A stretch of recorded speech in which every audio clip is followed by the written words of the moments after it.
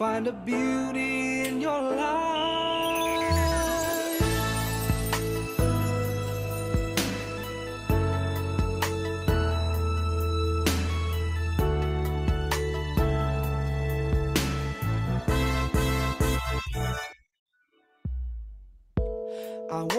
what you're searching for when everything is in your hand. No space in your room. There are no more space in your mind. What are you really looking for? Why do you keep it all yourself? Well, life is simple. There's no secret inside. Faithful friends is all you need.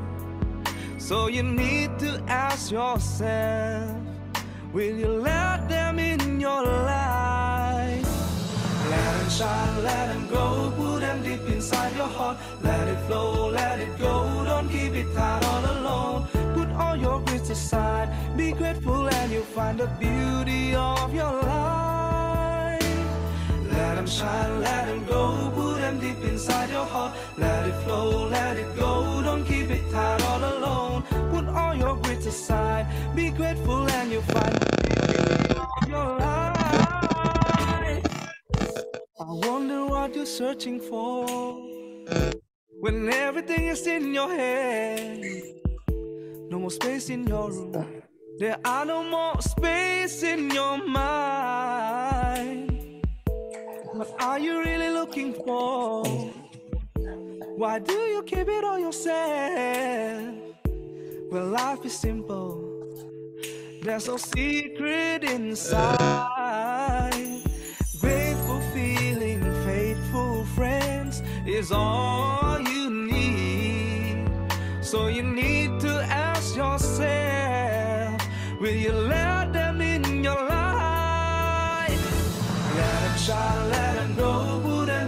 inside your heart. Let it flow, let it go, don't keep it tight all alone.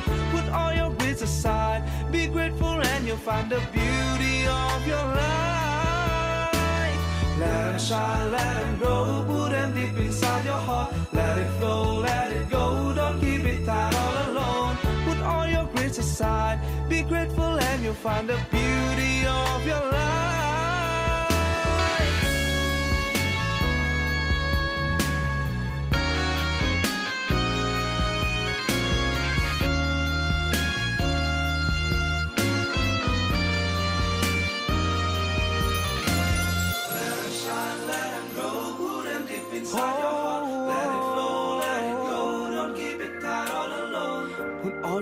Griefs aside, be grateful and you find the beauty of your life.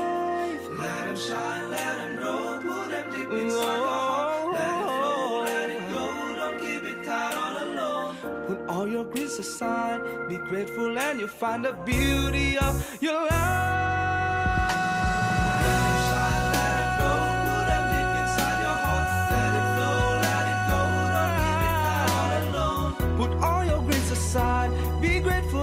find a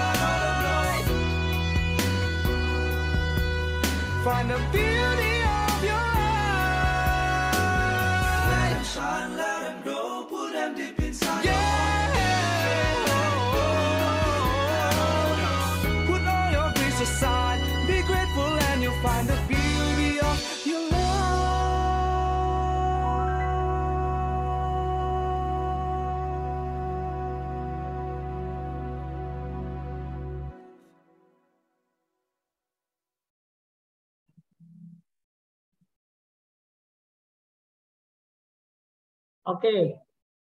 Baik, selamat datang semuanya, teman-teman, para sahabat, kalian Minata. Uh, selamat bergabung di acara Garda Dharma Indonesia yang kita adakan tiap minggu per dua minggu sekali. Hari ini kita akan membahas ada apa dengan cinta. Satu kata cinta dapat membuat setiap kita dari kita mabuk kepayang. Dan ternyata cinta itu sangat luas aplikasinya, baik dalam kehidupan sehari-hari maupun di dalam aktivitas dan tindakan kita. Hari ini kita kedatangan Bro Hastomo ya dari Pangkal Pinang. Dengan nama Wisudi Upasaka Satya Mukta, lahir di Kota Depok 30 Desember 1985. Nah, beliau ini lulusan akademik bahasa asing di Jakarta, lulusan Jiangmen School, Guangdong, China ya. Dan saat ini menjadi apa mahasiswa di STAB Nalanda, Jakarta.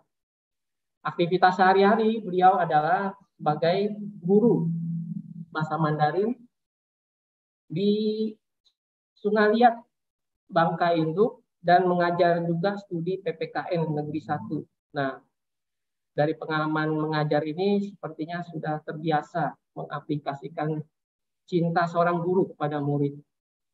Baik, pada kesempatan ini bincang-bincang sore hari, hari ini nanti kita dengarkan dahulu oh, apa ada apa dengan cinta? Silakan waktu dan tempat. Silakan. Oke, terima kasih untuk Pak Fendi. Uh, apakah memungkinkan kita memulai dengan pembacaan parita dulu, Pak? Oh, baik, silakan, silakan. Oke, saya akan memimpin secara agama Buddha. Mari kita menghormati guru agung kita, Sakyamuni Buddha, dengan memanjatkan parita Namaskara Gata. Arahang sama sambudo bhagawa Budang bhagawatang abiwademi Swakato bhagawata damu damang namasami supatipano bhagavato sawaka sanggo sanggang namami Sabi sata bawantu sukitata. Semoga semua hidup berbahagia. Sadu, sadu, sadu. Cinta adalah suatu emosi dari afeksi yang kuat dan ketertarikan pribadi Cinta juga dapat diartikan sebagai suatu perasaan dalam diri seseorang akibat faktor pembentukannya. Dalam konteks filosofi, cinta merupakan sifat baik yang mewarisi semua kebaikan. Perasaan beras kasih dan kasih sayang. Saya Hastomo dari kota Pangkal Pinang, Kepulauan Bangka Belitung, akan membawa sharing Dharma tentang cinta di dalam ajaran Buddha. Oke, sebelumnya terima salam Buddhis dari saya. Namo Sang Adi Budaya, Namo Buddhaya. Terima kasih atas kesempatan yang diberikan oleh Gada Dharma Indonesia kepada saya. Nah, di kesempatan kali ini saya akan berbagi dan saring sharing atau kita saring bincang-bincang santai. Di sini saya bukan bertujuan untuk berceramah, tetapi kita saling asa, asi, dan asu. Dengan sesuai topik, ada apa dengan cinta? Kalau kita lihat topiknya, ada apa dengan cinta, kita teringat di tahun 2002, yaitu ada satu film nasional berjudul Ada Apa Dengan Cinta yang diperankan oleh Nicholas Saputra dan Dian Sastro. Di situ filmnya menceritakan kisah cinta antara remaja dan remaja. Tetapi saya saat ini tidak akan membahas film tersebut, tetapi kita akan membahas cinta di dalam ajaran Buddha atau secara Buddha Dharma. Kalau berbicara tentang cinta, kita teringat uh, ajaran Sang Buddha yaitu salah satunya di dalam Brahma Wihara Parana yang sering kita ucapkan di akhir kebaktian atau puja bakti setiap hari Minggu. Di situ ada empat pilar utama yaitu meta, karuna, mudita, dan UPK. Dan meta ada di urutan pertama. Apakah yang dimaksud dengan meta tersebut? Nah, meta adalah cinta kasih.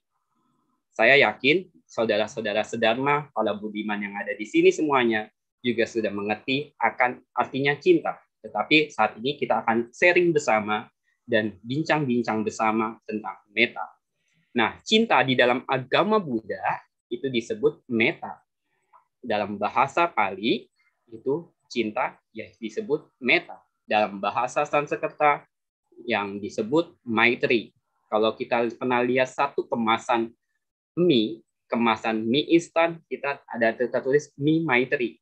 Nah, itu artinya mie cinta kasih. Nah, berbicara tentang cinta kasih juga kita teringat ajaran satu satu pujangga besar dari daratan Tiongkok, yaitu Konfusius, yang mengajarkan lima sifat mulia, Ren Yi Li Chishin. Nah, di susunan urutan pertama, Ren itu artinya cinta kasih, bahwa guru-guru agung kita, baik itu Buddha Gautama atau Konfusius, mengurutkan cinta kasih di urutan pertama. Konfusius mengurutkan cinta kasih di urutan pertama yaitu Ren. Di dalam Buddhis, di dalam Brahma Wihara, ah, meta di urutan pertama. Berbicara tentang meta, pasti di antara kita sudah banyak mempraktikkan meta atau cinta di dalam kehidupan kita sehari-hari. Kita sebagai umat Buddha, kita sebagai orang yang melaksanakan praktek Dharma sering sekali mendengar kata meta, kata maitri dalam bahasa Pali ataupun dalam bahasa Sanskerta. Nah, kalau berbicara tentang cinta, ya pasti ya yang tidak ada unsur kebencian, yang tidak ada unsur kedengkian antar satu sama lain.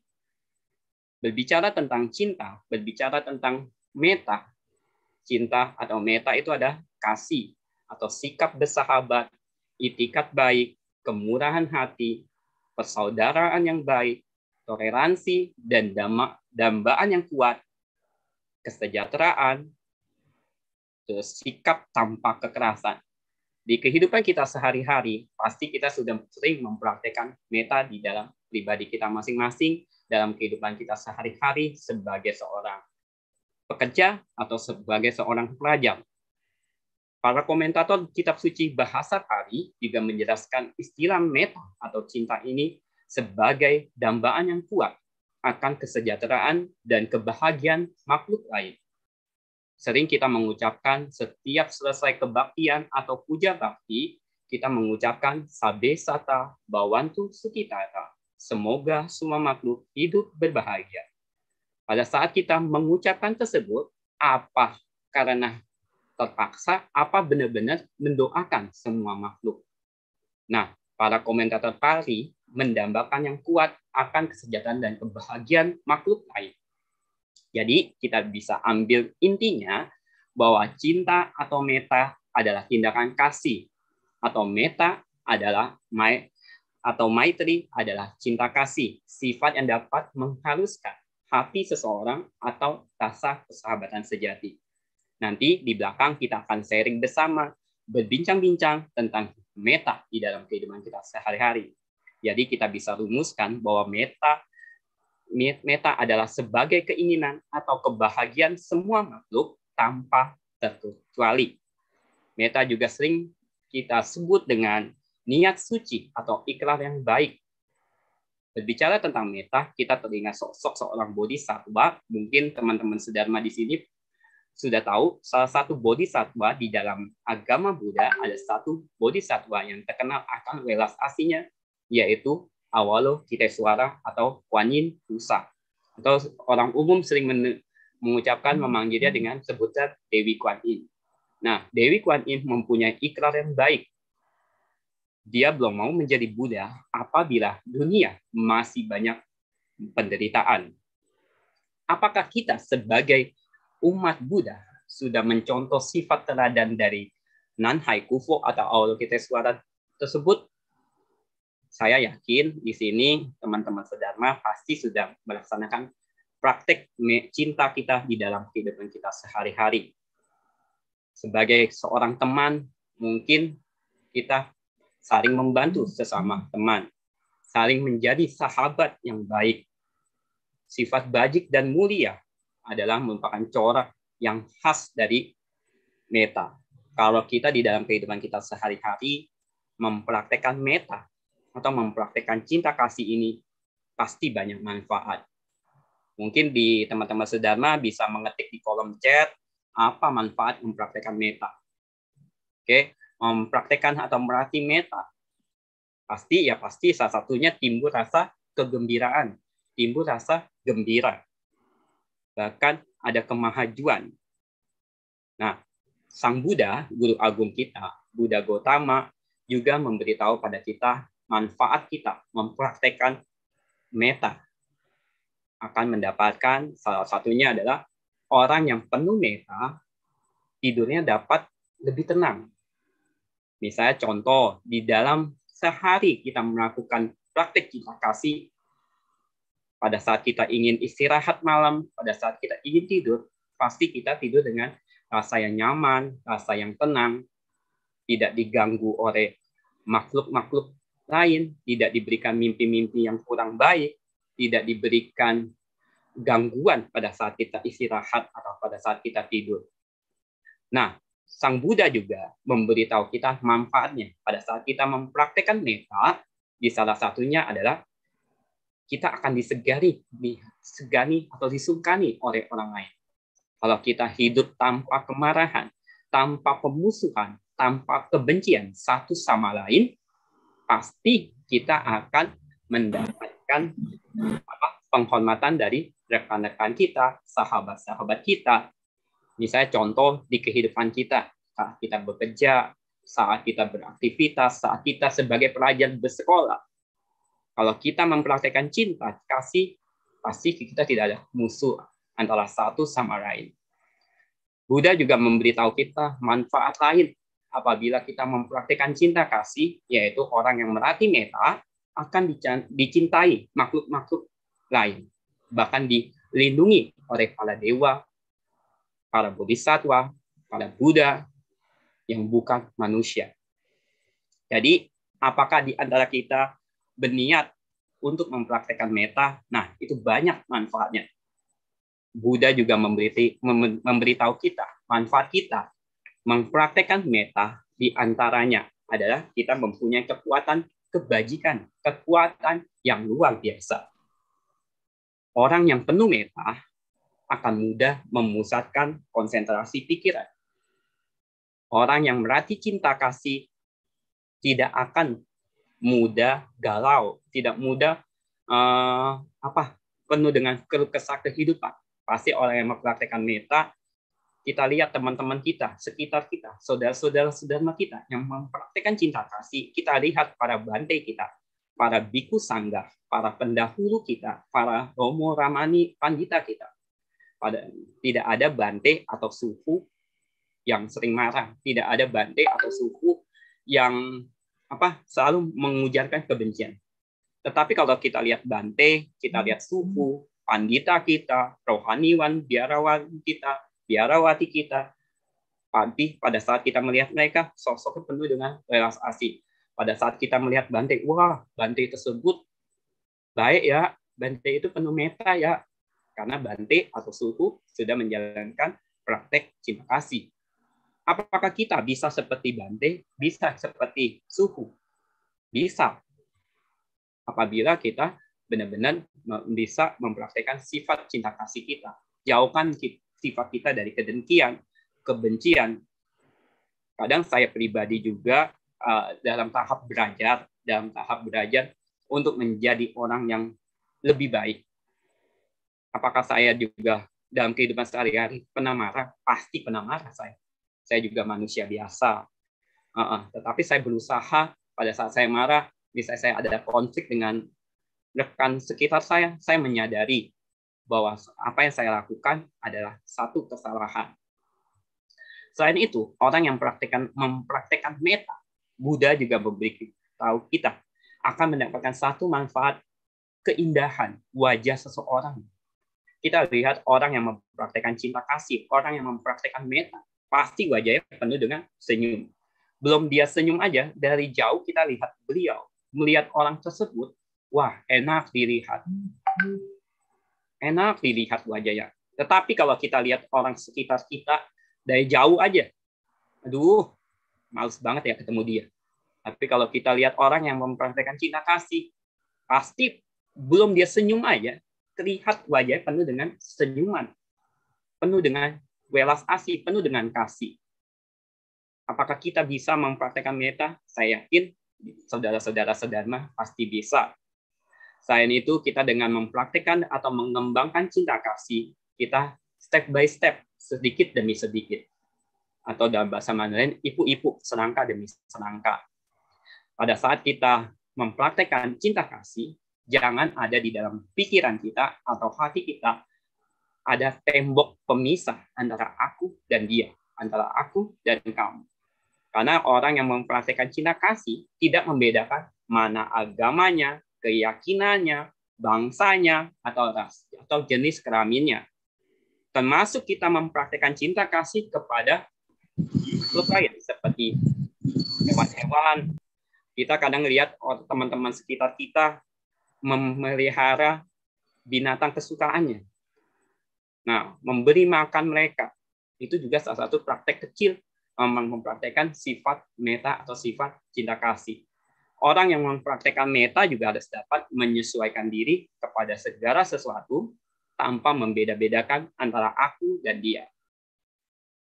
Selain itu, saya yakin saudara-saudara sedama di sini yang ada di ruang Zoom ini atau di ruang YouTube saya yakin kita semua di antara kita semua di sini di Zoom atau di YouTube semua ada orang yang hebat. Pasti bisa mempraktekkan sifat meta yang sesuai yang diajarkan oleh guru agung kita Buddha Gautama. Di dalam agama Buddha, di dalam Buddha Dharma, meta itu adalah meta yang universal, meta yang cinta yang maha besar, bukan cinta yang kecil kalau misalnya antara di sini di, di Zoom ini saya lihat ada yang remaja, ada yang masih muda banget wajahnya. Nah, sering mengenal lawan jenis, sering mengenal uh, apa pada saat masa SMA, SMK sudah mengenal lawan jenis, itu hanya cinta kecil, hanya cinta duniawi. Tetapi Buddha mengajarkan kita untuk mempraktikkan cinta yang maha besar, yaitu yang maha universal, itu mempraktekkan cinta kepada semua makhluk tanpa terkecuali. Seperti di awal saya mengatakan sosok bodhisatwa suara Kuan Yin Pusa. Cinta kasihnya maha besar. Dewi Kuan Yin atau suara belum mau menjadi Buddha apabila di dunia ini masih banyak penderitaan. Ikhlas suci suara maha mulia. Kitis Garba Bodhisattva di alam neraka tersebut dia belum mau meninggalkan alam neraka, belum mau menjadi Buddha apabila neraka masih banyak penghuni-penghuninya. Makanya supaya Kitis Garba mau jadi Buddha, di antara kita ya praktekkan cinta. Uh, jangan sampai nanti kelak kita terakhir di alam yang kurang baik, yaitu alam neraka. Orang yang mempraktekkan meta juga, orang yang mempraktekkan cinta kasih, pasti pikirannya, hatinya, pasti berfokus pada sesuatu yang bersifat mulia. Saya teringat di dalam Karania Meta Sutta ada menggambarkan menggambarkan sebuah cinta kasih bagaikan so, kasih seorang ibu kepada anak tunggalnya, anak semata wayangnya. Ibu kalau kita lihat ibu kita, mama kita, cinta kasihnya pada saat kita bayi pada saat kita bayi, kita nangis di malam hari, ibu pun harus terbangun dari tidurnya. Harus mengurusi apa? Misalnya kita sedang ngompol, sedang pipis, harus mengurusi ngompolannya. Terus juga pada saat kita masih kecil, kita diberikan apa yang ibu berikan. Apa yang ibu kasih. Ibu teringat dengan anaknya terus, mengurusnya, merawatnya dengan baik, kadang saya kadang bingung ya, kadang kadang saya merasa aneh zaman-zaman sekarang. Kadang remaja-remaja sekarang, karena di sini banyak yang terlihat remaja, banyak remaja lebih ingat pacarnya, lebih ingat kekasihnya. Kadang uh, ada ucapan remaja, beb beb yang yang udah makan belum? Pada saat keka, ngomong sama tunangnya, sama kekasihnya, sama pacarnya bisa bertanya, udah makan belum? Apakah kita pernah bertanya kepada orang tua kita? Ma, udah makan belum, Ma? Pa, udah makan belum? Kadang-kadang saya merasa bingung sama remaja kalau saya lihat kebetulan saya mengajar di salah satu sekolah tingkat SMK. Ah, kadang-kadang remaja zaman sekarang lebih memperhatikan yayangnya itu, bebnya, kasihnya atau pacarnya. Tetapi orang tuanya nggak pernah ditanya, Ma, Pa, udah makan belum? Ma, Pa, udah ini belum? Tetapi kalau sama pacarnya super cinta kasih. Tapi pada saat orang tua lagi ngomong, kita kadang ngomongnya bisa A sampai Z. Tapi kalau misalnya pacarnya yang lagi ngomong, kadang ngomongnya pasti halus, lembut. Coba dari kita dan semuanya yang ada di Zoom atau di YouTube, mulai sekarang uh, kita sudah mengerti dharma dari guru agung kita Buddha. Mulailah kita mencoba menyapa orang mempraktekkan cinta kita pada orang yang ada di rumah, terutama orang tua kita. Tadi Buddha mengatakan bagaikan cinta kasih seorang ibu yang memperhatikan anak tunggalnya yang semata wayangnya. Cinta kasih ibu itu hanya memberi, tak harap kembali bagai sang surya menyinari dunia. Ada satu lagu ah, kasih ibu kepada beta tak terhingga sepanjang masa. Nah, demikian juga jangan kita bisa menyanyikan tetapi kita tidak bisa mempraktekkan kepada uh, orang sekitar kita.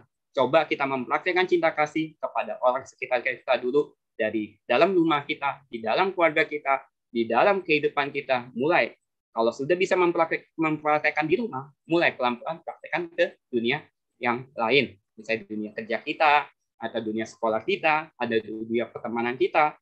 Juga contoh mempraktekkan juga praktek meta di wihara, di cetia. Nah, pada saat kita mempraktekkan cinta kasih, niscaya kita akan mendapatkan manfaat untuk diri kita sendiri dan bisa membantu diri kita men menjadi kemajuan yang luar biasa. Kalau kita nanti kelak uh, pada saat kita ngeramar kerja, pasti karakter kita yang dilihat, sikap kita yang dilihat. Karena kalau sikap kita berkarakter penuh welas asih, niscaya orang yang mau menerima kita tempat kerja tersebut pasti menerima karena karakter kita baik. Karakter yang baik yaitu fondasi awalnya yaitu cinta, yaitu cinta kasih seandainya setiap orang mampu mengembangkan cinta kasih atau meta ini di dalam kehidupannya, maka kehidupan ini akan dipenuhi dengan kedamaian. Di mana pun kita berada, kita perlu mempraktekkan meta demi terciptanya kedamaian di kehidupan ini. Kalau kita penuh dengan meta, penuh dengan cinta kasih, niscaya dunia ini pasti aman, tidak ada peperangan. Kita lihat di tetangga ada ada sedang perang, nah, karena metanya mulai apa mulai luntur, mulai redup. Niscaya kalau kita bisa mempraktekkan cinta kasih ini, tidak ada kekerasan, tidak ada tembok pemisah antara aku dan kamu, aku dan dia, aku dan mereka, aku dan kalian, tetapi satu keluarga. Nah, hidup berdampingan dengan penuh dengan kecinta kasih, berupaya bersifat membangun. Karena cinta itu bersifatnya adalah membangun. Sedangkan kekerasan berupaya merusak. Tidak ada kekerasan yang bersifat membangun atau mengembangkan, tetapi kekerasan itu pasti berupaya bersifat merusak. Tetapi kalau cinta kasih bersifatnya mengembangkan atau membangun. Berbicara tentang cinta kasih pasti berkaitan tentang karakter budi pekerti kita atau moral kita. Ada lima latihan moral. Kalau kita setiap minggu sering ke wihara, sering mengucapkan secara trisarana ada Pancasila, Pancasila Buddhis yaitu lima latihan moral sebagai umat Buddha di dalam kehidupan sehari-hari. Yaitu yang pertama, panatipata. Terus yang kedua, adinadana, kamesu micacara, musawada, surameraya. Nah, apa itu? Lima latihan moral, jangan setiap minggu kita ulang lima latihan moral tersebut, mengurang panatipata, weramani, sika, padang, sama diami. Hanya tahu membaca, tetapi tidak dilaksanakan. Di dalam urutan pertama lima latihan moral, yaitu Pancasila Buddhis, yang pertama, aku bertekad melatih diri untuk menghindari pembunuhan. Yang kedua adalah pencurian. Ketiga, tidak melakukan perbuatan asusila. Keempat, berbohong. Kelima, tidak minuman keras atau minum-minuman yang memabukkan. Nah, lima latihan moral ini bisa di dalam kehidupan kita sehari-hari kita praktekkan. Lima, ini resep kita dari Buddha. Lima latihan moral ini bisa kita praktekkan kepada kehidupan kita sehari-hari. Orang yang penuh dengan sifat cinta kasih, pasti ruang batinnya pasti dipenuhi dengan penuh cinta kasih atau welas asih. Tidak ada kesempatan di dalam ruang batinnya muncul niat atau kehendak melakukan satu perbuatan yang buruk, perbuatan yang penuh dengan kekerasan. Kita lihat orang-orang sekitar kita, orang yang mempraktikkan cinta kasih. Kita lihat di wihara, kita lihat bantai kita. Pada saat kita bantai mempraktikkan cinta kasih, lihat tidak ada Bante yang bersifat pemarah, tidak ada Bante yang penuh dengan kebencian. Pasti Bante itu menonjolkan sifat aslinya. Pada saat kita mempraktikkan latihan moral, yang pertama adalah tidak membunuh. Pada saat kita tidak membunuh, itu juga termasuk latihan meta kita. Makanya dari kita semua, saya berharap di sini kita sama-sama belajar mempraktikkan cinta kasih, kepada kehidupan kita sehari-hari. Orang yang penuh dengan cinta kasih pasti tidak ada niat untuk mencuri, tidak ada niat yang korupsi, tidak ada niat untuk merugikan atau menyakiti orang lain atau pihak lain. Orang yang mempraktikkan cinta kasih pun pasti tidak ada niat untuk melakukan maaf pelecehan yang tidak baik kepada orang-orang. Terus orang yang mempraktekkan cinta kasih pun tidak akan ada niat untuk menyakiti perasaan orang lain. Munculnya niat baik untuk berpraktek cinta kasih pasti akan mendapatkan manfaat yang besar untuk kehidupan kita. Praktekanlah cinta kasih untuk diri kita sendiri, orang lain, keluarga kita. Saya yakin yang di ruang Zoom atau di ruang YouTube ini pasti penuh dengan cinta kasih. Nanti di antara kita juga orang yang penuh cinta kasih tidak akan berkata-kata kasar kepada orang-orang di sekitar kita. Orang yang mempraktekkan cinta kasih pun akan muncul keinginan untuk melakukan perbuatan yang baik, perbuatan yang mulia. Lima latihan moral tersebut, Pancasila Buddhis tersebut bisa kita lakukan dalam kehidupan kita sehari-hari. Begitu sederhana cara mengisi batin kita dengan cinta kasih atau meta.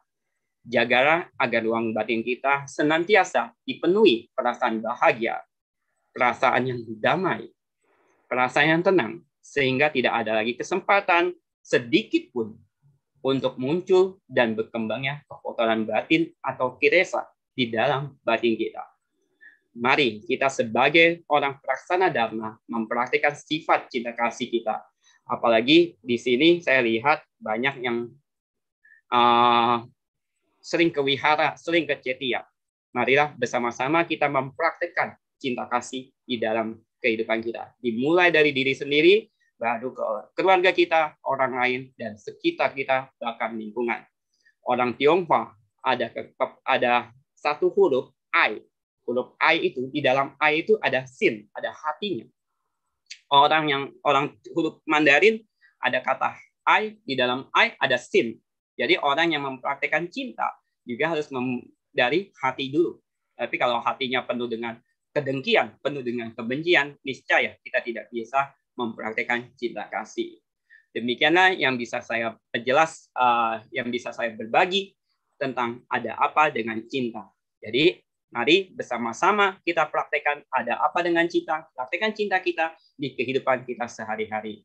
Demikian yang bisa saling saya bagi. Di sini hanya saya saling asah, asi, dan asu. Mungkin dari teman-teman sedharma atau saudara-saudara sedharma di sini bisa memberikan input masukan untuk kita semua yang ada di ruang Zoom atau di ruang YouTube. Oke, terima kasih. Terima salam Buddhis dari saya. Namo Sang Yang Adi Budaya, Namo Budaya. Saya serahkan kembali ke Bapak yang penuh dengan cinta, yaitu Pak Fendi. Pak Fendi, dipersilakan. Baik, terima kasih Bro Hastomo uh, pemaparannya yang sangat menginspirasi. Ada beberapa catatan yang saya boleh sharingkan di sini. Ternyata mengembangkan cinta kasih itu bisa dimulai dari diri sendiri, sendiri dan sedikit demi sedikit. Itu yang saya dapat satu. Terus yang kedua adalah ternyata cinta dalam Buddha Dharma adalah sangat universal. Jadi tidak hanya pada manusia tapi makhluk-makhluk lain pun juga kita menyebarkan cinta kasihnya. Dan yang ketiga eh, sebenarnya yang di paparan tadi itu begitu sederhana ya kita mempraktekkan meta atau cinta di dalam Dharma. Baik, uh, selanjutnya adalah kita akan berbincang-bincang, berbincang santai, ya, dan kita akan mulai misalnya dengan tanya jawab. Jadi seandainya ini ini mungkin Bro Hastomo sangat penuh cinta ini banyak yang hadir di Zoom ini ya. Kita ada ada Andere ya, Ander, Ander, ada Islan, ya ada Sisipana, banyak sekali. Ini ada dari luar kota juga Bangka, ada dari Bangka, Bangka, Bangka Belitung mungkin ya, Tomo ya, seperti itu. Iya Pak. Oke, baik. Uh, silakan teman-teman yang di luar ada yang ingin bertanya dulu atau mau sharingkan sesuatu, dipersilakan waktu dan tempat silakan raise hand atau langsung chat diketik.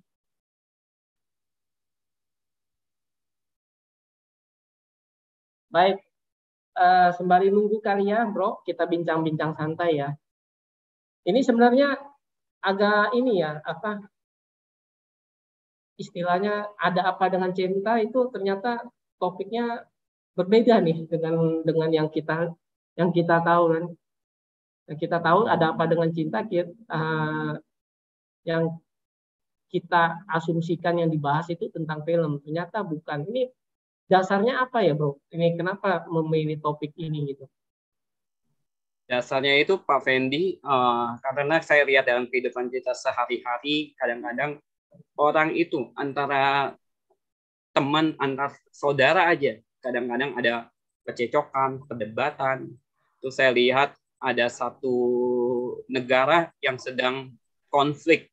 Nah, jadi saya mau mengangkat topik ada apa dengan cinta, berharap dari kita semua bisa mempraktikkan cinta kasih kita di dalam kehidupan kita sehari-hari dengan baik.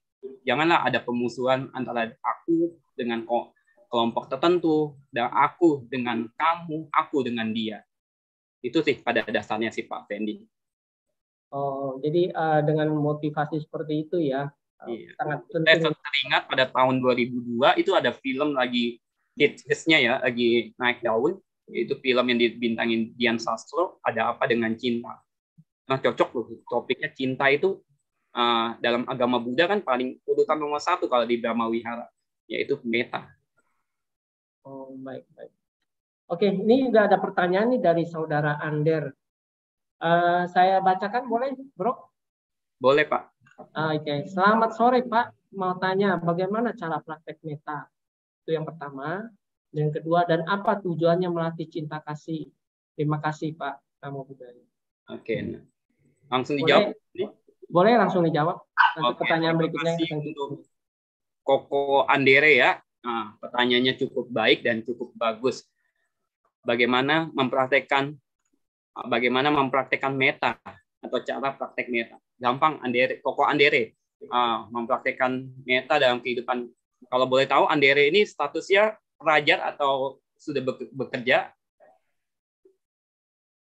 Silakan Pak Andere. Saya kalau lihat dari mukanya pelajar ya.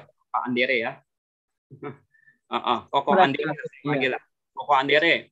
Nah, mempraktikkan meta dalam kehidupan kita sehari-hari pertama ya pasti uh, kita bertutur kata yang baik, berpikiran yang baik, berpikiran positif yang thinking aja. Kalau kita pikiran kita penuh dengan kebaikan, pikiran kita positif thinking, pasti akan mendapatkan manfaat yang baik. Tetapi kalau misalnya kita mempraktekkan berpikirnya yang jelek-jelek, misalnya Koko Andere berpikir hari ini mau menyakiti keluarga atau menyakiti teman, pasti timbul satu keburukan atau akibat yang kurang baik. Tapi kalau kita mempraktekkan meta, mempraktekkan cinta kasih, diawali dengan berpikir yang baik, hati yang baik, berpikir yang positif aja. Cara praktek meta yang paling sederhana yaitu bertutur kata yang baik, berpikiran yang baik. Dari tutur kata, berpikir yang baik akan menimbulkan sikap atau tindak tanduk kita yang mencerminkan teladan seperti ajaran Buddha, yaitu praktek bodhisatwa. Bodhisatwa tidak ada bodhisatwa yang penuh dengan kemarahan kan ya. Pasti bodhisatwa itu penuh dengan welas asih. Terus apa tujuan kita melatih cinta kasih? tujuan kita melatih meta? Ya pasti kebah. Tujuan kita yang pertama yaitu kebahagiaan. Kebahagiaan semua makhluk. Kebahagiaan untuk diri kita sendiri. Kalau kita mempraktekkan cinta kasih, pasti niscaya hidup kita juga penuh dengan kedamaian. Hidup kita tidak ada pemusuhan, tidak ada kebencian, hidup kita juga tidak ada pertentangan. Apalagi tujuan kita melatih cinta kasih pasti kebahagiaan semua makhluk kalau di dalam ajaran Buddha. Itu yang bisa saya sampaikan secara sederhana ya Koko Andere ya. Terima kasih atas pertanyaannya Koko Andere. Ya. ya Baik, terima kasih. Ya. Uh, Bro Hastomo boleh saya tambahkan untuk ini? Boleh Pak. Uh, boleh ya, kita bincang-bincang ya santai ya. Uh, Saudara Andere kalau uh, apa untuk praktek yang paling sederhana adalah tersenyum saja. Kita mulai dari senyum saja dulu. Nah, coba saudara Andre senyum. Nah, itu di dalam batin itu pasti sudah ada ya rasa-rasa bahagia ya. Itu yang pertama. Jadi dengan senyum itu uh, otomatis atau coba sekarang cemberut. Satu menit aja cemberut. Nah, itu rasanya juga sudah beda ya. Jadi uh, kalau secara prakteknya paling mudah adalah senyum. Ya kan kalau misalnya ini saya sangat terinspirasi dengan Bro Astomo itu mengembangkan cinta kasih sedikit demi sedikit. Ya kalau saya yang bisa sharingkan ya hanya senyum dulu. Selanjutnya ya sedikit demi sedikit ya nanti juga akan ada jalannya. Seperti itu. Oke, uh, saya lanjut ke pertanyaan kedua ya, Bro. Ini Oke. ada dari Sis Iing Felicia. Selamat sore, izin tanya apakah meta atau cinta kasih dapat mengubah hidup seseorang? Terima kasih. Silakan, Bro. Oke, terima kasih Pak Fendi, terima kasih Bu Iing. Pertanyaannya cukup baik. Apakah meta bisa mengubah perilaku seseorang? Pasti jawabannya dengan sederhana, pasti bisa. Kalau kita pada saat kita mempraktekkan meta, pasti perilaku seseorang juga akan berubah. Misalnya, contohlah saya sendiri lah, pribadi saya uh, kehidupan saya dulu mungkin kalau rekan-rekan yang lain tahu, mungkin saya penuh dengan emosi, penuh dengan kemarahan, atau penuh dengan kebencian. Tapi pada saat saya berusaha meratih, saya menyadari bahwa saya sedang saya sedang marah, saya sedang benci. Pelan-pelan pasti perilaku saya juga uh, berubah. Perilaku saya juga akan akan ada perubahan yang lebih baik untuk diri saya sendiri. Jadi apakah meta bisa mengubah perilaku seseorang? Bisa. Dari diri sendiri. Tekad dari kita dulu. Kalau dalam agama Buddha apa itu? Aditana kita. Tekad yang kuat dulu. Kalau kita punya aditana yang kuat, niscaya kita bisa. Jadi Bu Iing, Ciayo ya, pasti apakah meta bisa mengubah hidup kita seseorang, mengubah hidup seseorang? Bisa jawabannya. Oke, demikian Pak Fendi. Terima kasih. Baik, baik. Ini pertanyaannya mengantri nih rupanya nih Pak Astomo. Uh, pertanyaan dari Lan ya, uh, mungkin bulan kali. Selamat sore Pak Astomo, mau tanya.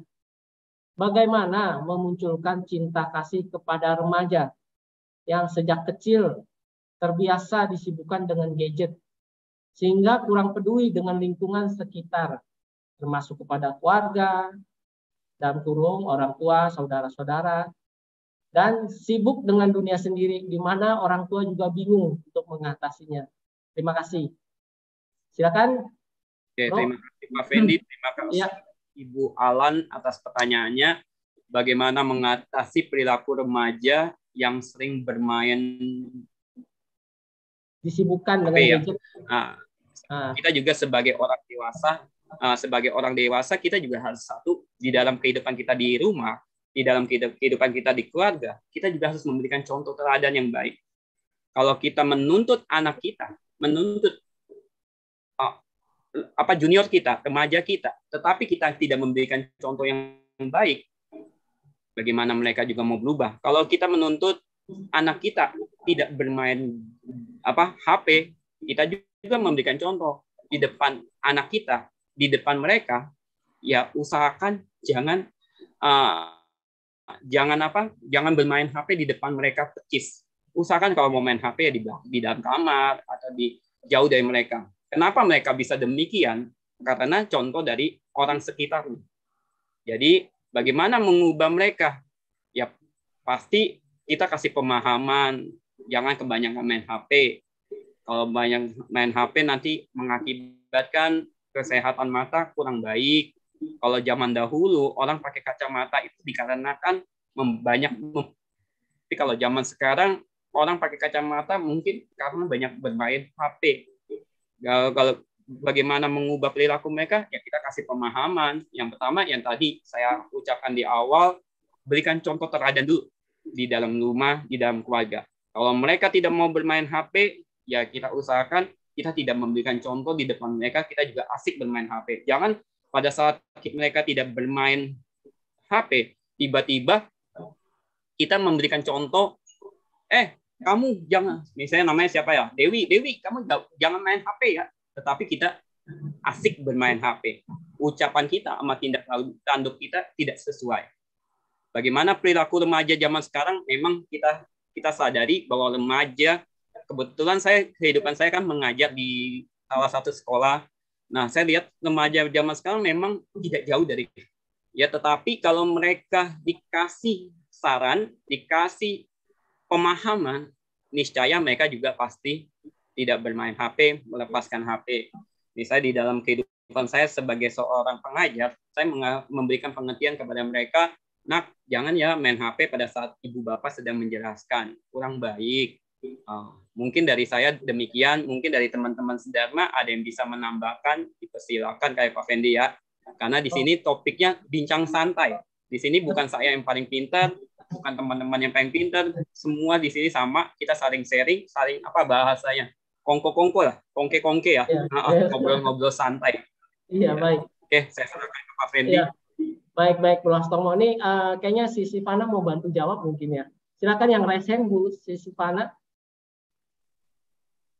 Selamat sore, Bro Fendi. Selamat sore. Iya. Terima kasih atas sharingnya. Enggak, saya bukan bantu jawab, saya mau bertanya sedikit nih sama Bro. Oh, bertanya. Iya, oke.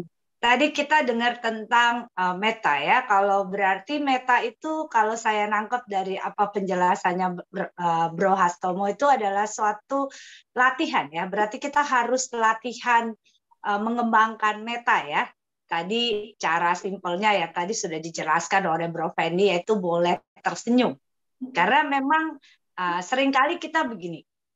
Kita memang melatih diri kita ya untuk tidak punya pikiran jelek Tapi kan kalau melatih itu cara prakteknya paling bagus di mana? Kadang-kadang kita memang tidak mau berusaha berpikiran uh, positif nih ya. Tapi kalau namanya pikiran itu kan kadang-kadang suka muncul. Nah kita itu kadang-kadang suka kebablasan. Nah berarti kalau tadi penjelasannya Bro Hastomo itu kita sadar. Nah melatih kesadaran itu berarti kan nggak gampang ya Bro Hastomo ya gitu loh. Apalagi kita ini sudah berusaha berusaha untuk uh, tidak berpikir jelek, untuk berpikiran uh, positif. Tapi kan kadang-kadang di dalam pergaulan kita sehari-hari ya, bukan hanya dengan teman saja, uh, pergaulan sempit aja lah, misalnya yang lebih dekat yaitu orang tua atau teman-teman. Kadang-kadang kita kita suka berbeda pendapat tuh. ya. Kalau kadang-kadang berbeda pendapat itu kayaknya ya uh, kita berusaha berpikiran positif. Tapi kan kadang-kadang ada sesuatu yang kita lihat, aduh gimana ya dia nggak cocok nih dengan saya, uh, dia berbeda nih pendapatnya dengan saya. Dan biasanya kan sifat manusia itu kan kadang-kadang spontan keluar ya, saya tidak suka gitu kan ya. Nah kalau kayak begitu kan kita agak susah tuh. Nah cara praktek meta yang berusahanya itu gimana ya bro ya? Jadi bagaimana kita bisa senantiasa kita berpikiran positif gitu? Apakah harus ada latihan prakteknya? Kira-kira kalau bro Hastomo prakteknya itu gimana nih? Cara mengembangkan meta kita biar kita senantiasa berpikiran positif apabila kita menemui di pergaulan kita itu ada perbedaan pendapat. Ya kira-kira gimana ya bro ya? Thank you bro Baik, baik. Uh, kita tampung dulu ya si Sivana ya. Mungkin kita kembali ke bulan ya. Uh, apakah sudah menjawab uh, Bro Hastomo? Bisa diketik atau bisa buka suaranya? Sudah kayak Pak. Tidak. Baik. Uh, berarti kita skip dulu ya Bro ya kalau misalnya seandainya bulan mau ini mau oh, iya. Oke, kita ke sisi panah. Ini pertanyaan yang sangat luar biasa ya. Sepertinya dalam ya kan dan apa nyata ya, nyata di dalam kehidupan kita sehari-hari. Uh, silakan Bro kalau mau dijawab. Oke, terima kasih Pak Fendi, terima ya. kasih Ibu Ivana yang penuh dengan meta. Kalau lihat wajah Bu Ivana ini, hati kita langsung sejuk ya, hati kita langsung adem saya pribadi juga bukan manusia yang sempurna, saya juga pribadi bukan manusia yang wow gitu. Kalau kehidupan nyata, berbicara kehidupan nyata, saya ada seorang pribadi yang pasti saya juga bukan dewa, bukan bodhisatwa, saya manusia pribadi yang pada waktu ada perbedaan pendapat, nggak jauh-jauh lah. Contoh di dalam lingkungan kita yang sempit, misalnya lingkungan kita pada saat kita kuliah atau kita berteman, pasti ada perbedaan pendapat. Pada saat itu saya pribadi pasti pada saat itu timbullah pikiran yang kurang baik, pikiran yang negatif. Timbullah pikiran ketidaksukaan pada seseorang atau pada lawan bicara kita. Nah, bagaimana saya mengatasi demikian? Pada saat misalnya kejadian, timbullah satu niat buruk atau kebencian yang kurang baik saya menyadari bahwa saya melakukan uh, perilaku yang tidak sesuai dengan Buddha Dharma. Saya menyadari perbuatan atau sikap tutur kata yang kurang baik. Kalau saya pribadi mengatasinya, kalau kebetulan kita adalah umat Buddha, umat Buddha salah satunya kita harus menjalankan sila, samadhi, dan prasnya, yaitu samadhi yang pertama, uh, yang pertama sila, kita menjalankan sila, kalau sila kita baik, pasti kita tidak penuh dengan kemarahan. Yang kedua yang saya praktekkan kalau saya pribadi yaitu mempraktekkan meditasi. Salah satu meditasi yang saya diajarkan oleh salah satu bante yaitu meta bawana.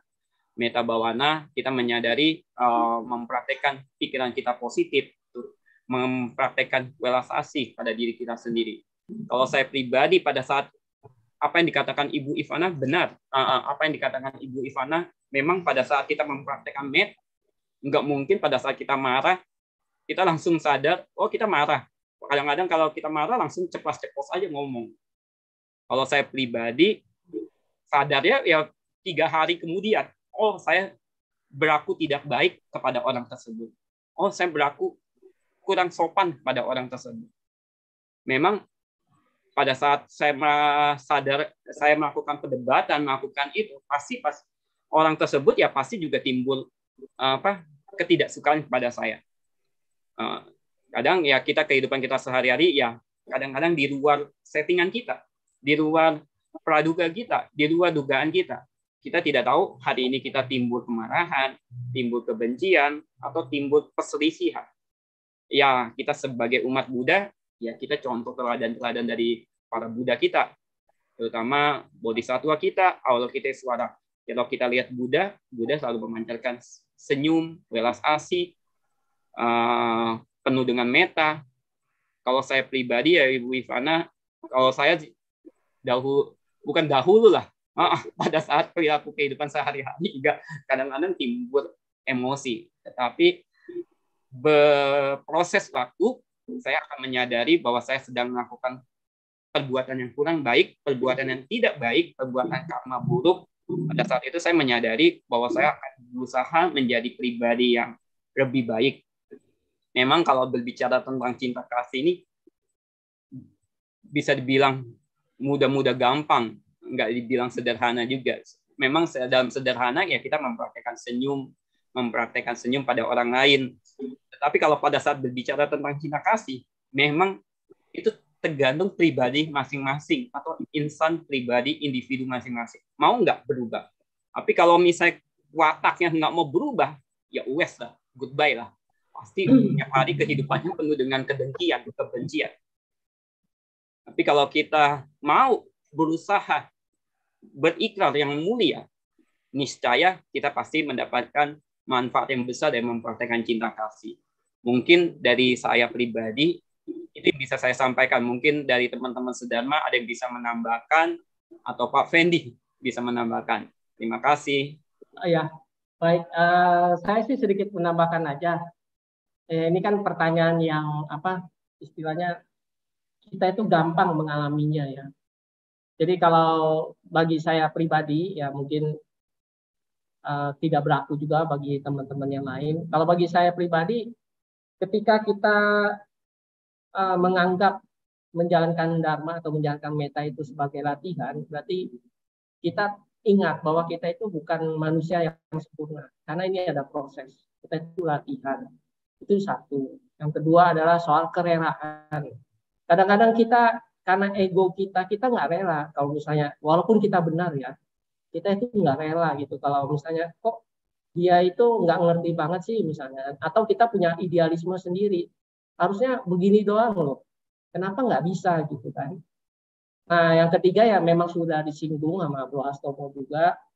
Karena kebetulan di Buddha Dharma itu kita mengenal sila, samadhi, dan pana. Mungkin ini konteksnya samadhi ya, konsentrasi atau melatih diri dengan kesadaran. Ya kan? Nah, di dalam meditasi itu kan memang kalau istilah orang eh, pikiran kita itu seperti monyet mungkin ya yang liar itu kan ke sana kemari, ke sana kemari. Nah, dengan latihan meditasi, kita itu bisa segera sadar, menarik, ya kan, menarik pikiran kita. Oh, lagi ke mana? Kita tarik saat ini. Lagi ke masa depan, kita tarik lagi ke masa sekarang. Lagi ke belakang, kita tarik ke sekarang. Nah, itu umpama misalnya seandainya ada suatu peristiwa atau fenomena yang kita tidak senang, kan kita bisa netralkan kan Sebenarnya peristiwanya itu netral, emosi kita yang tidak netral. Seperti itu.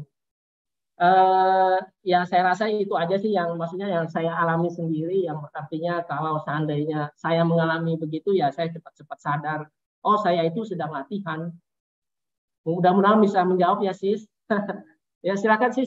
Uh, kalau mau diperbincangkan Oke, uh, terima kasih Bro Hastomo, Bro Fendi untuk jawabannya yang luar biasa ya. Ya memang kalau saya merangkum ya, saya merangkum apa yang disampaikan Bro Hastomo, apa yang disampaikan Bro Fendi. Ya itu kalau Bro Hastomo tadi bilang berarti Bro Hastomo juga adalah namanya meta adalah latihan, maka kita ada latihan ya. Salah satunya kalau nggak salah Bro Hastomo melakukan latihan meditasi ya. Jadi kalau saya bilang oh ya itu mungkin uh, cocok ya karena memang uh, seperti juga saya sadari bahwa sebetulnya bahwa kita perlu mempunyai ruang kesadaran ya jadi kita harus membentuk ruang kesadaran di dalam diri kita ya kalau kita uh, misalnya tiba-tiba marah atau tiba-tiba emosi atau tidak senang. Nah, kita harus punya kesadaran nih, kesadaran yang membawa kita menarik kembali untuk sadar, oh saya sedang marah, oh saya sedang kecewa. Berarti uh, dengan begitu kan dengan melatih meditasi karena ini namanya latihan ya. Nanti kan lama-lama kita latih ya Bro Hastomo ya. Kalau kurang lebih saya nangkep begitu. Dan tadi Bro Hastomo pikir, oh saya tuh sadarnya tiga hari kemudian. Mungkin dengan latihan meditasi kita bisa sadar, oh satu jam kemudian oh kita sadar oh tadi kita marah ya kan? Nah kalau lebih cepat lagi mungkin tiba-tiba langsung sadar. Apa sebelum muncul kita menyadari itu kalau kita dengar orang dengan latihan meditasi ya berarti kita harus punya ruang kesadaran ya Kalau memang melatih meditasi yang saya tahu seperti tadi Bro Fendi ngomong itu adalah membuat perasaan kita netral. Karena kan perasaan itu cuma ada tiga ya Bro, menyenangkan, tidak menyenangkan, dan netral. Oh, jadi kalau di sini saya menangkap, oh ya berarti kalau dengan latihan ini kita akan membuat perasaan kita netral. Oke, terima kasih jawabannya Bro Hastomo, Bro Fendi. Terima ya. kasih jawabannya luar biasa ya. Oke, saya kembalikan kepada hostnya. Baik, uh, terima kasih Si Stefana. Uh, ada lagi teman-teman yang ingin berkomentar atau sharing. Nah sebenarnya ini yang bisa kita sharingkan atau bincangkan ini nih, yang tadi pertanyaan bulan itu sangat bagus ya. Maksudnya ini sangat aktual ya untuk para keluarga yang mempunyai anak. Ini tantangan, tantangan di zaman ini mungkin ya. Maksudnya ini tantangan ya tidak hanya bagi anak kecil ya. Anak kecil mungkin karena lingkungan ya. Tapi kita sendiri yang dewasa pun kan kadang-kadang uh, terjerumus ya, bahasanya terjerumus ya. Asik sendiri gitu dengan gadgetnya gitu kan. Seperti itu. Tapi sebelum kita masuk ke perbincangan ini, rupanya dulu sih uh, ada resen. Silakan waktu dan tempat. Terima kasih ya sebelumnya. Uh, saya ingin menanyakan sedikit sih ya. Uh, sangat menarik kalau kita membahas tentang cinta kasih ini ya. Nah, untuk cinta kasih ini apakah hanya untuk sebatas uh, kita sebagai manusia? Bagaimana dengan istilahnya perlakuan kita terhadap makhluk-makhluk uh, sekitar seperti itu. Apakah sama kita berbagi cinta kasih itu atau hanya sebatas uh, yang sepantaran dengan kita seperti itu? Mungkin bisa diberikan penjelasan Pak Hastomo. Terima kasih. Ya, silakan Bro, langsung jawab. Oke, terima kasih Pak Fendi, terima kasih Bu Rusi pertanyaan yang cukup baik. Apakah cinta kasih hanya kita praktekkan kepada orang yang apa sepantaran dengan kita? Kalau jawaban tadi di paparan awal, cinta kasih itu tidak melihat siapa pun, tidak melihat uh, aku dan kamu, tidak melihat uh, tembok pemisah antara yang berusia atau yang tidak berusia atau yang sama usianya. Bahkan praktek cinta kasih yang sederhana yaitu pada semua makhluk. Kalau Sang Buddha bilang, uh, Sang Buddha aja berkata, kita harus mempraktekkan cinta kasih kepada semua makhluk. Demikian juga kita sebagai umat Buddha, apakah praktek cinta kasih harus dengan orang sepantaran saja? Jawabannya tidak. Praktek cinta kasih kita bisa praktekkan kepada siapa pun tanpa membedakan tadi di paparan saya di awal sharing saya ada yang mengatakan tidak membedakan sara, tidak membedakan suku, agama, kepercayaan, atau apa pun. Jangan mentang-mentang kita umat Buddha, kita hanya mempraktekkan cinta kasih kepada sesama umat Buddha. Misalnya pada saat kita bakti sosial, pasti pada saat kita bakti sosial nggak mungkin tujuan sasaran kita kepada umat Buddha, tetapi kepada semua yang kita ketemui. Jadi kalau apakah praktek cinta kasih untuk orang sepantaran saja? Jawaban saya pribadi tidak. Karena praktek cinta kasih harus kepada siapa pun, bahkan kepada semua makhluk sesuai setiap kita kebaktian kita mengakhirinya dengan kata sabe sata bawantu sukitata. Semoga semua makhluk hidup berbahagia.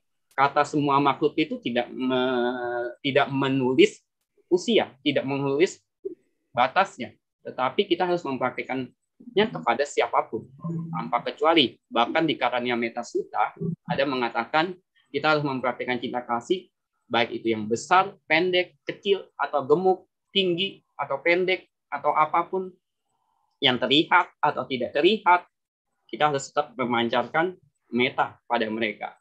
Mungkin jawaban saya gitu ya Bu Lucy. Uh, terima kasih sekali lagi pertanyaan Bu Lucy cukup baik. Kalau jawaban saya pribadi tidak. Uh, jadi praktek meta bisa kepada siapa pun. Terima kasih Bu Lucy atas pertanyaannya. Terima kasih Pak Hasomo. Nah, e, maksud saya bukan hanya sebagai sebatas e, sesama kita seperti manusia ya, tapi bagaimana e, cinta kasih kita terhadap makhluk lain seperti misalnya binatang ataupun serangga ya istilah makhluk-makhluk kecil lah. Bahkan yang tidak terlihat pun karena uh, setahu kita ya dulu kita masih sebelum kita mengenal ya apalagi dari uh, pandangan lain bahwa makhluk-makhluk yang tidak terlihat itu seperti seolah-olah itu musuh seperti itu.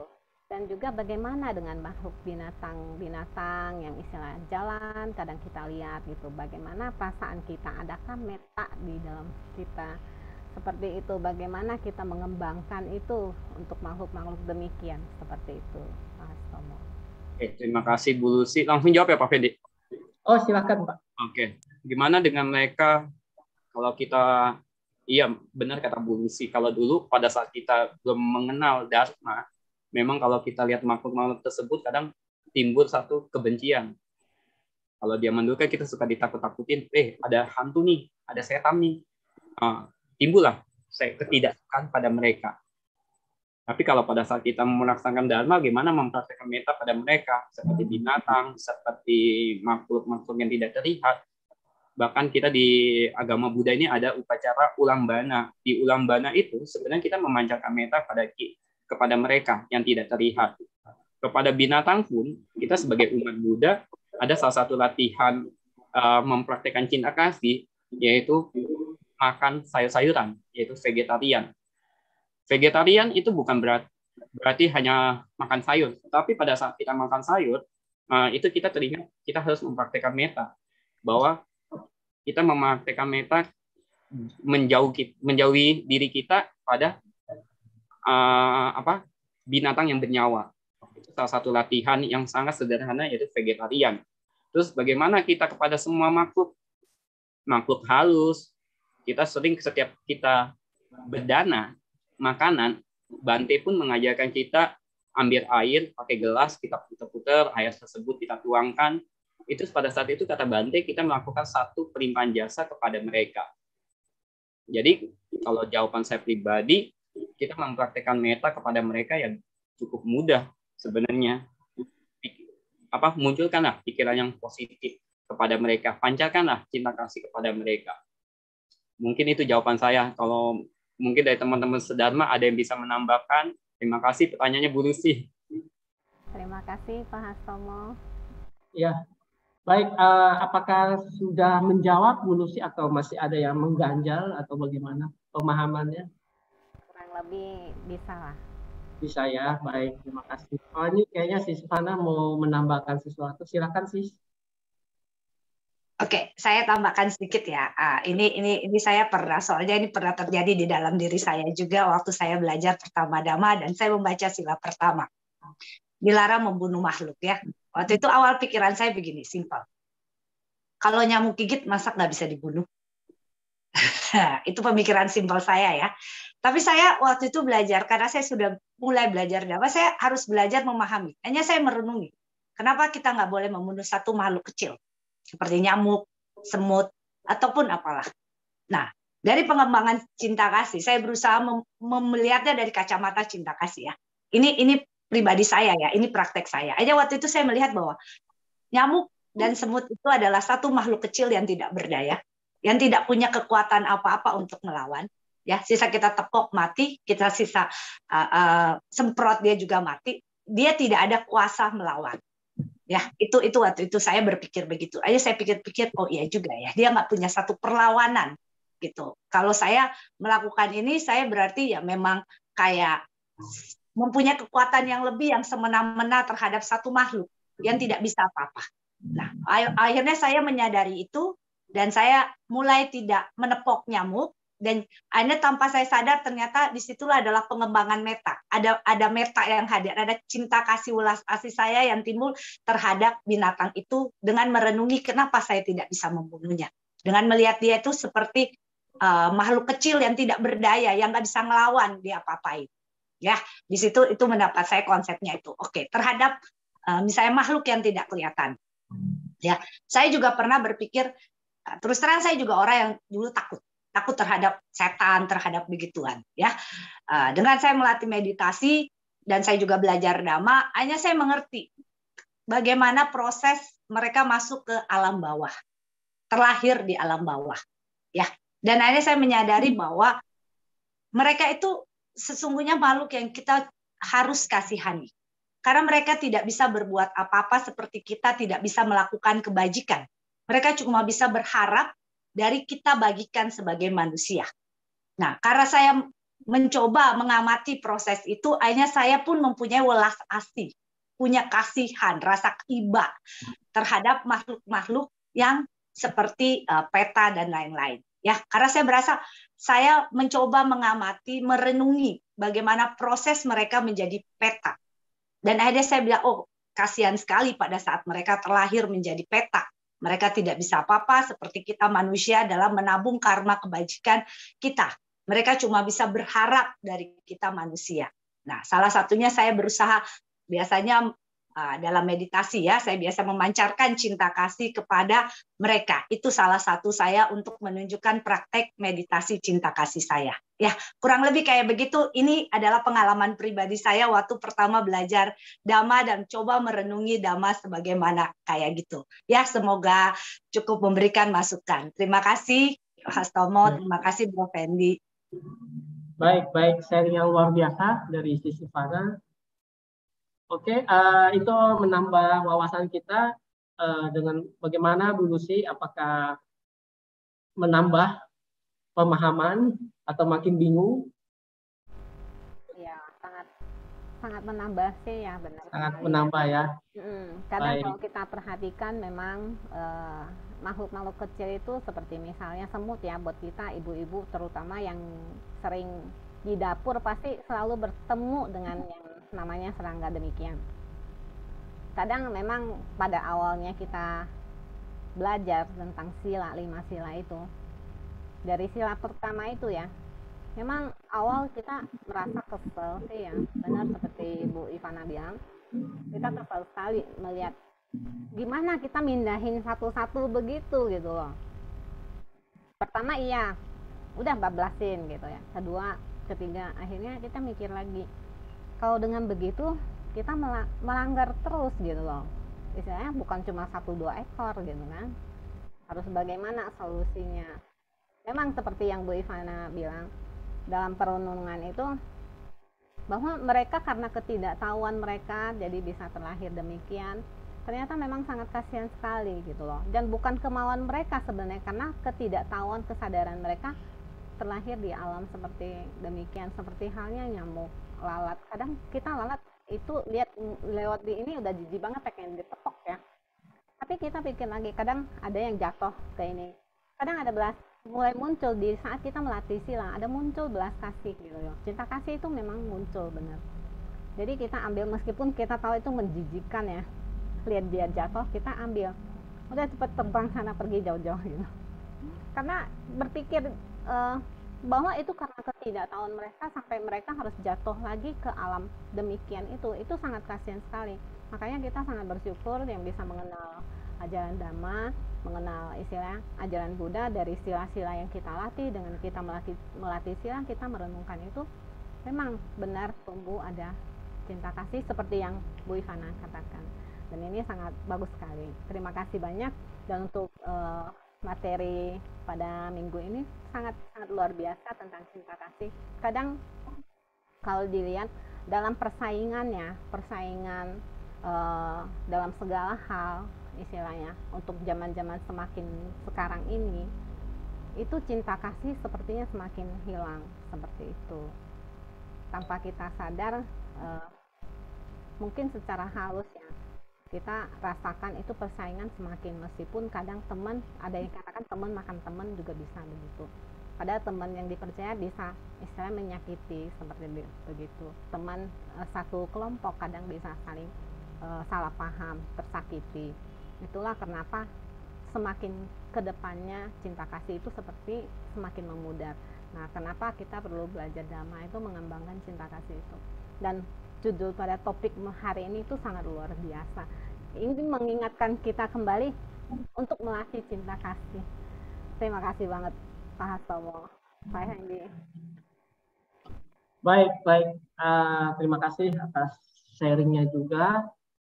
Oke, kita buka lagi pertanyaan uh, pada teman-teman atau di YouTube ada komen ya pertanyaan. Oke belum ada ya.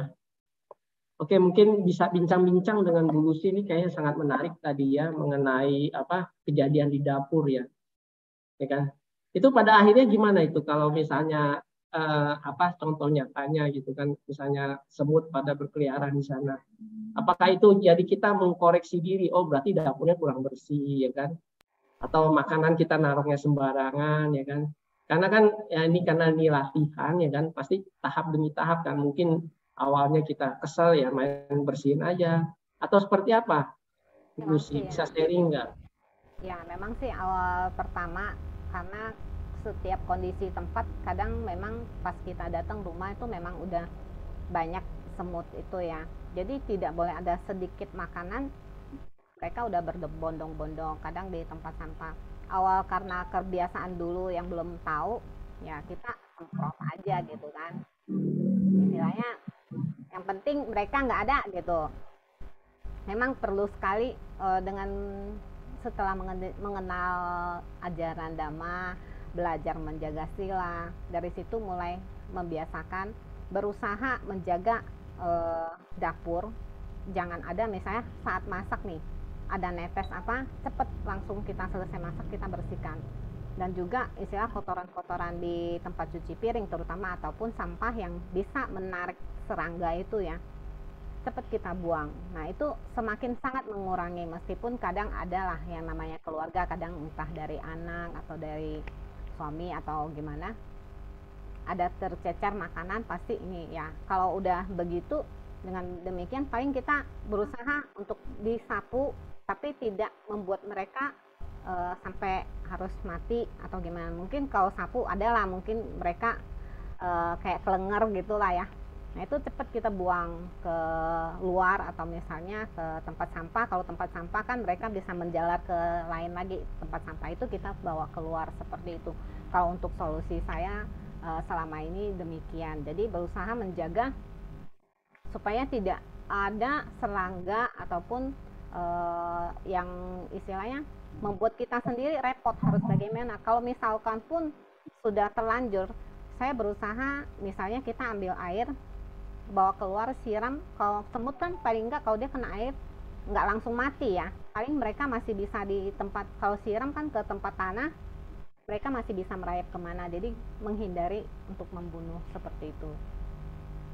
Baik seperti baik. Itu, ya saya jadi mendapatkan satu insight nih, berarti kebersihan itu bagian dari meta ya.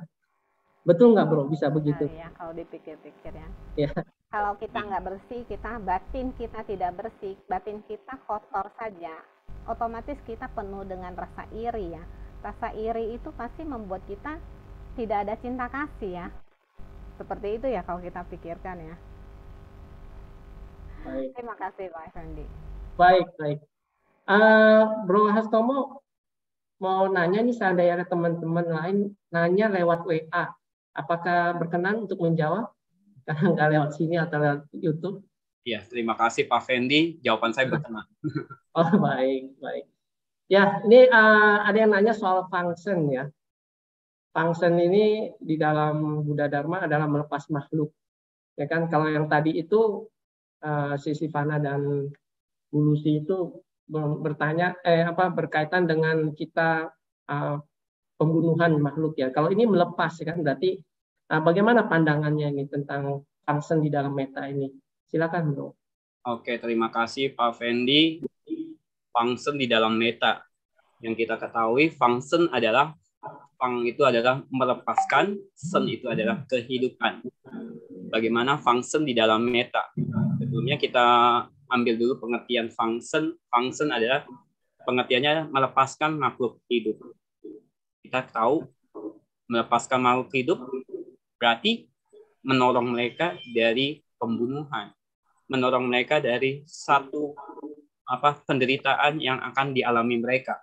Pada saat kita function, ya pasti kita membantu mereka agar tetap hidup, tetap bisa bernyawa apa hubungan dengan meta pasti ada hubungannya yaitu salah satu praktek kita kasih Sang Buddha mengatakan kalau kita sering berkata sambil sata bawaan tusuk itu atas, semoga semua makhluk hidup berbahagia. Tetapi kita tidak apa pada saat kita mengucapkan sabesata, bahwa itu kita tak langsung kita bunuh bunuh binatang tersebut. Apakah hal demikian baik? Apakah demikian bagus? Menurut saya sih kurang bagus. Function pasti ada hubungan dengan meta, ada hubungan dengan cinta kasih. Karena pada saat kita melakukan function tersebut, kita melatih salah satu praktek cinta kasih kita kepada makhluk tersebut supaya makhluk itu tidak mengalami satu penderitaan, satu pembunuhan, satu yang mengalami kerugian untuk mereka. Tetapi kita memberikan juga kesempatan untuk mereka untuk hidup, untuk bernyawa. Pada saat kita function, kita memberikan kesempatan untuk makhluk hidup tersebut untuk tetap hidup, tetap berbahagia, karena mereka juga makhluk di dalam diri mereka juga ada nyawa.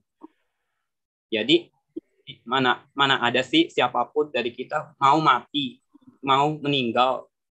Binatang juga termasuk makhluk hidup. Mereka juga tidak mau dibunuh, tidak mau juga di apa dis, disiksa, disantap. Kalau kita lihat uh, praktek cinta kasih dalam function itu praktek cinta kasih salah satu praktek yang mulia. Tetapi jangan pada saat kita function jangan cari tempat yang yang mudah diambil orang lain, tetapi carilah tempat yang nyaman. Ya kira-kira tempat yang tidak ada. Jangan tiba-tiba kita function ikan, tiba-tiba langsung ditangkap, function burung langsung ditangkap. Carilah tempat yang nyaman, tempat yang benar-benar aman untuk mereka. Apa hubungannya cinta, dengan cinta kasih? Jawabannya pasti ada hubungan yang sangat erat antara function dengan meta. Karena pada saat kita mempraktekkan function tersebut, kita juga menjalankan salah satu latihan moralitas yaitu sila pertama yaitu tidak membunuh karena kita memberikan kesempatan untuk makhluk tersebut untuk tetap hidup, tetap untuk bernyawa dengan baik. Di kehidupan kita juga tidak ada yang mau apa mati kan, tidak mau di dalam kehidupan kita yang di dalam kita mau meninggal. Mereka pun juga punya hak yang sama untuk hidup, punya hak yang sama seperti kita untuk bebas Oke, terima kasih Pak Fendi. Pertanyaannya untuk saudara Sedama yang memberikan pertanyaan tersebut. Terima kasih juga. Iya, iya. Ya, kelihatannya praktek function kan sangat luas ya di masyarakat kita ya. Khususnya kebudayaan Tionghoa itu. Nah, kalau yang dilepas itu apakah harus bersifat rantai makanan misalnya kayak sesuatu yang dimakan atau bebas kalau function itu atau semua makhluk karena kalau konsep semua makhluk itu enggak yang umumnya kan lele ya, umumnya kan lele, terus burung ya kan. Kalau seandainya misalnya uh, binatang kayak serangga, jangkrik seperti itu gimana prakteknya? Maksudnya niat yang melepasnya kan benar dia melakukan function kan. Tapi apakah itu ada pandangan lain di dalam prakteknya secara Buddha Dharma? Oke, terima kasih Pak Fendi. Kebetulan dalam Buddha Dharma tidak ada tidak ada kitab suci mana pun atau pitaka apa pun yang men harus menuliskan harus binatang tertentu, apakah jangkrik atau belalang atau binatang serangga apa boleh dilepas boleh karena mereka juga makhluk hidup. Bahkan dalam tradisi Tionghoa, uh, kebetulan saya pernah dapat mata kuliah tentang function ini ya. Uh, pernah dapat mata kuliah tentang function ini tidak ada aturan yang tertulis harus binatang A, binatang B, binatang C memang pada umumnya kalau kita lihat-lihat orang Tionghoa, pada umumnya kita lihat mereka melepaskan lele. Tapi kalau kami di Bangka, kami di daerah kami, kami juga ada lepas burung, lepas yang binatang yang bisa hidup bebas. Jangan ya uh, kita melepas binatang yang bisa kelinci kita lepas di di sekitar rumah kita ya langsung ditabrak mobil. Ya kita cari binatang yang yang sesuai lah yang yang dengan alam mereka. Oke, demikian Pak Fendi. Terima kasih. Baik, baik. Terima kasih penjelasan yang luar biasa. Uh, Bu Lucy mau menambahkan? Sepertinya ada yang mau disampaikan nih berkaitan iya. dengan function. Silakan Bu Lucy. Kalau soal function ya, seperti ya kurang lebih dengan apa yang Pak Hastomo sampaikan, bahwa itu juga melatih ya salah satu cinta kasih kita ya karena melihat uh, makhluk-makhluk tersebut terancam istilahnya nyawanya. Kita merasa sendiri sih bagaimana saat nyawa kita terancam ya. Bagaimana rasa ketakutan itu.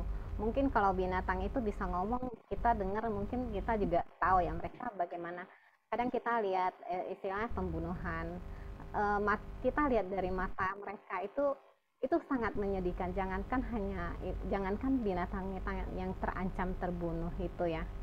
Kita kadang melihat istilahnya seperti makhluk yang dalam bahaya.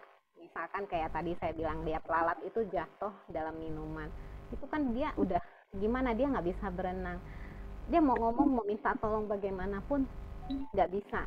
Seperti itu. Bagaimana ketakutannya? Seperti halnya kita nggak bisa berenang kita jatuh ke air. Gimana paniknya kita? Seperti itu. Dan kita melepas mereka itu otomatis melatih benar uh, cinta kasih kita ya.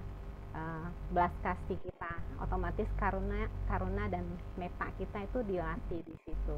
Seperti yang Pak Hasomo sampaikan. Dan memang kita function tidak hanya istilahnya binatang-binatang tertentu. Ya seperti yang kayak uh, misalkan pun tikus ya kalau rata-rata ada beberapa rumah yang memang suka dimasukin tikus. Kadang memang itu kalau kita lihat itu binatang yang sangat um, membuat kita tuh uh, kesal ya. Di mana kalau barang-barang kita itu dirusak apalagi bau sekali dengan kotoran-kotorannya itu. Tapi berusaha kita ya seperti itu kita mengingat lagi kita memang pasang jebakan tapi tidak menyebabkan uh, nyawa mereka tuh uh, istilahnya terancam. Itu bisa ini saya lakukan. Kemarin sempat masuk tikus di rumah. Saya, saya pakai perangkap. Itu saya bawa ke lapangan uh, istilahnya ya di Lanut itulah kan ada uh, uh, di uh, apa di angkatan udara itu kan ada lapangan itu ada kayak kebun saya lepas di sana. Memang orang pikir kalau yang tidak tahu mungkin yang mereka tidak paham tentang dhamma kurang kerjaan ya. Tikus tuh pantas lah untuk dibunuh. Itu tuh binatang yang misalnya mengganggu yang misalnya bawa penyakit wabah penyakit. Kenapa? Ya kita berpikir lagi seperti yang tadi saya katakan bahwa mereka karena ketidaktahuan mereka terakhir di alam-alam seperti demikian. Dan mereka juga sebenarnya e, tidak berpikir untuk mau mengganggu tapi mereka mencari tempat berlindung untuk mencari makan. Seperti itu. Ya seperti hal lah kita lihat ya. Kita yang sebagai manusia aja ya. Kadang kita lihat lewat uh, ada orang-orang yang tidak mempunyai tempat tinggal. Mereka harus berlindung di depan ruko orang atau sampai tidur di dalam gerobaknya. Seperti itulah.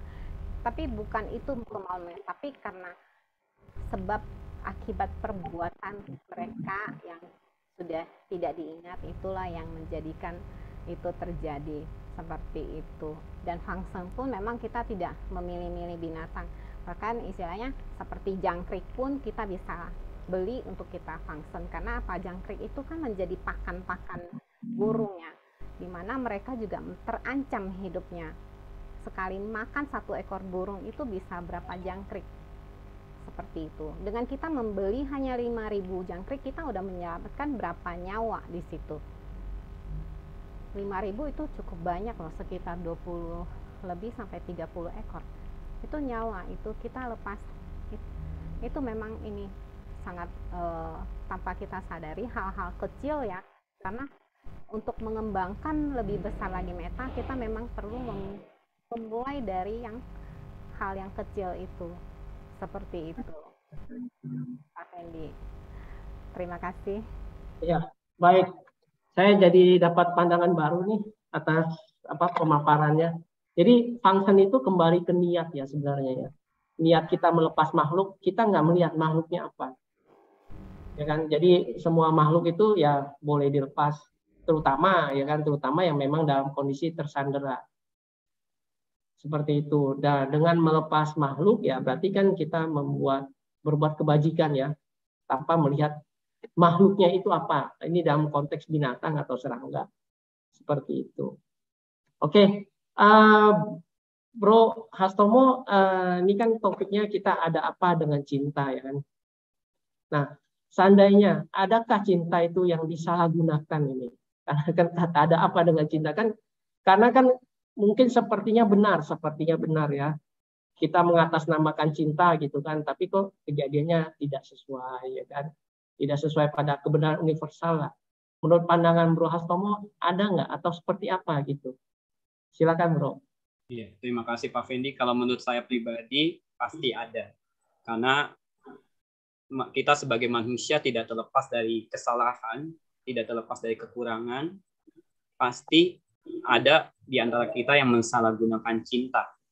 Misalnya pada saat kita mempraktekkan cinta kasih, punya niat buruk, uh, punya niat yang tidak tidak sesuai dengan Buddha Dharma.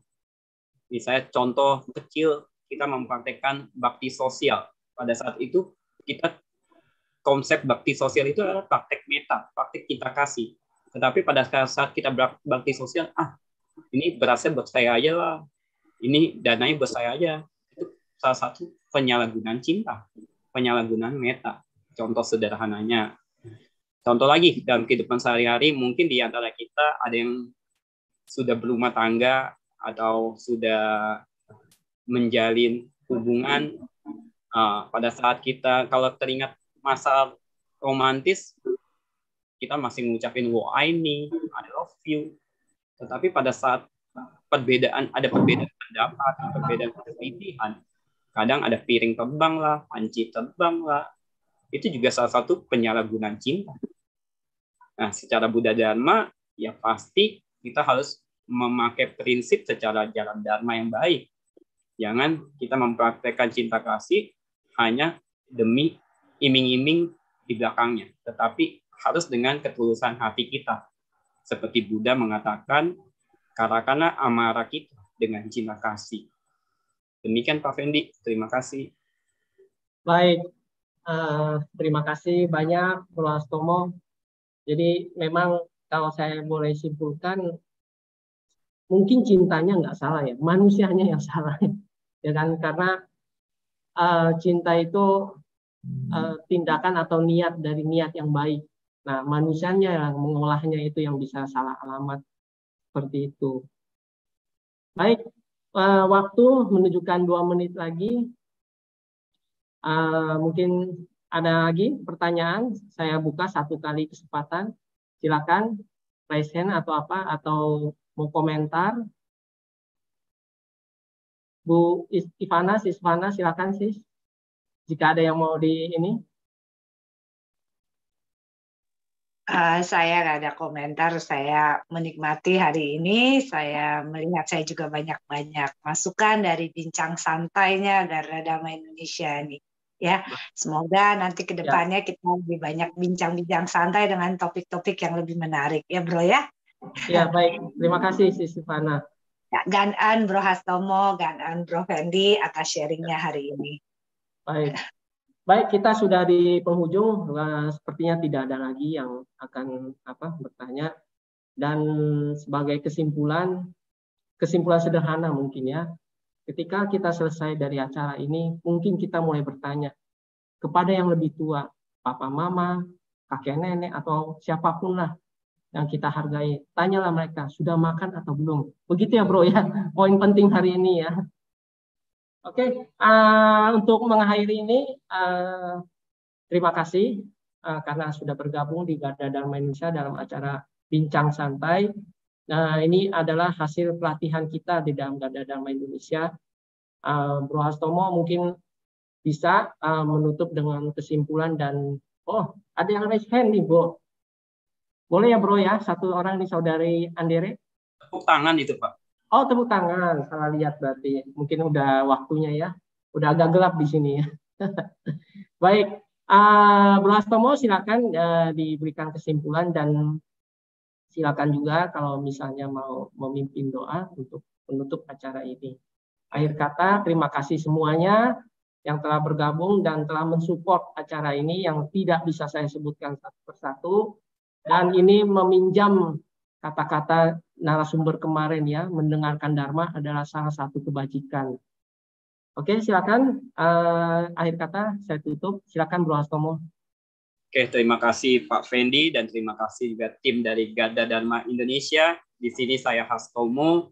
Saya bisa bisa berdiri di sini atau bisa di ada di layar Zoom atau di layar YouTube dikarenakan satu latihan public speaking dari Garda Dharma Indonesia. Oleh karena itu, saya bisa belajar untuk berkomunikasi. Masih banyak kekurangan saya, masih banyak kekurangan dalam pribadi saya. Kurang lebihnya saya mohon maaf. Saya akan menutupnya dengan syair Dhammapada ayat 223. Di sini Buddha memberitahu kita, katakanlah amarah dengan cinta kasih, katakanlah kejahatan dengan kebajikan, katakanlah kekikiran dengan kemurahan hati, katakanlah kebohongan dengan kejujuran. Demikianlah yang bisa saya sampaikan pada sore hari ini. Kurang lebihnya saya mohon maaf. Dan di akhir, mari kita tutup bersama dengan membacakan doa secara bersama. Mari kita ambil sikap beranjari. Saya akan pimpin Arahang sama sambudo bagawa budang bagawatang abiwademi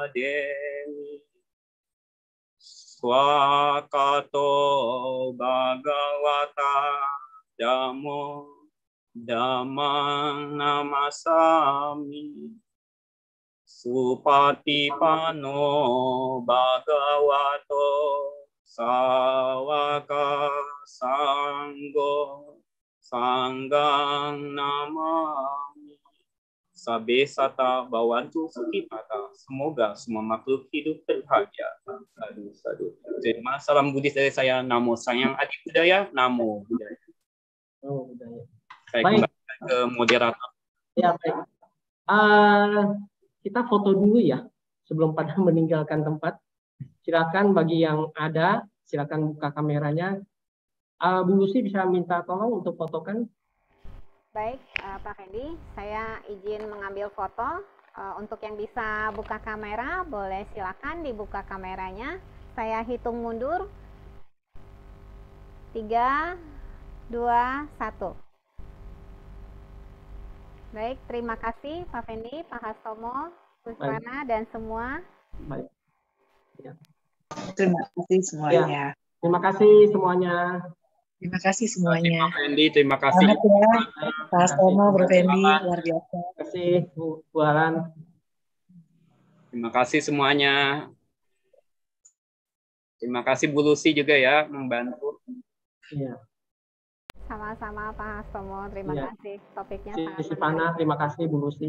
Oke, terima Doa kasih semuanya. Terima kasih Andere, Sandi, Saudara Diki, Noveli, Xiaoyan ya. Terima kasih semuanya.